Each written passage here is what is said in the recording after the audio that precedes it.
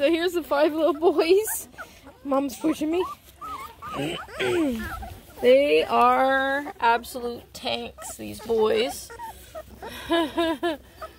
Gorgeous pups. Hi, you.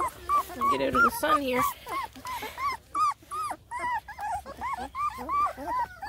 Two weeks old. Mama! Mama! Get out of here! She's standing right between me and the puppies. Hey. Hey, silly.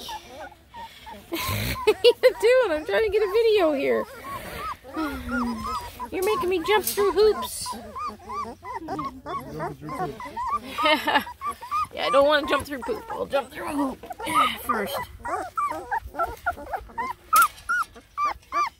The wrinkles and eyebrows and the chubbiness. They're just beautiful, covered in stuff warmer from the other brothers. Hey, the warmers everywhere. Yucky stuff anyway. okay, let's get these whiny pants puppies back in their little house.